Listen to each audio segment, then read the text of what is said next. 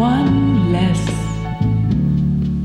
bell to answer, one less egg to fry, one less man to pick up after.